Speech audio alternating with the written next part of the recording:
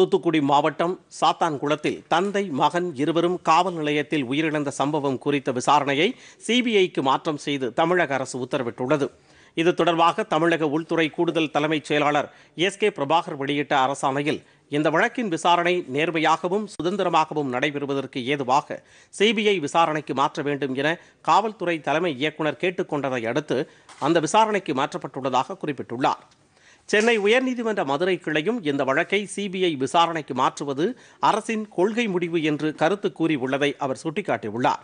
இந்த சம்பவம் தொடர்பான இரண்டு வழக்குகளையும் சிபிஐ விசாரணைக்கு மாற்றி அரசு உத்தரவிட்டுள்ளதாகவும் அதற்கான ஒப்புதலை ஆளுநர் அளித்திருப்பதாகவும் எஸ் கே பிரபாகர் வெளியிட்ட ஆணையில் தெரிவிக்கப்பட்டுள்ளது. பொதிகை செய்திகளை யூடியூபில் தமிழ் நியூஸ் தூர்தர்ஷன் என்ற சேனலிலும் முகநூலில் டிடி பொதிகை நியூஸ் என்ற பக்கத்திலும் ட்விட்டரில் டிடி நியூஸ் சென்னை என்ற பக்கத்திலும் இன்ஸ்டாகிராமில் டிடி பொதிகை நியூஸ் என்ற பக்கத்திலும் காணலாம். மேலும் உங்கள் கருத்துக்களை Pothigai DD news at Gmail dot com என்ற மின்னஞ்சலில் தெரிவிக்கலாம்.